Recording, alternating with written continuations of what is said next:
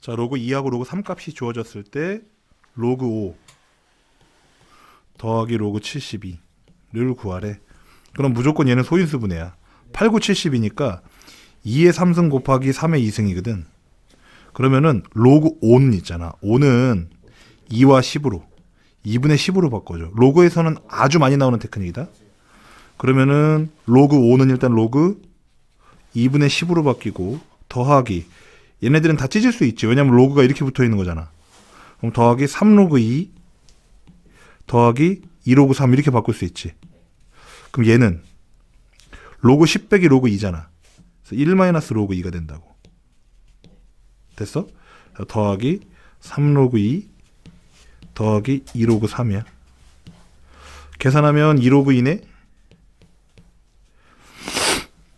301이니까 두 배 하면 0.60이야.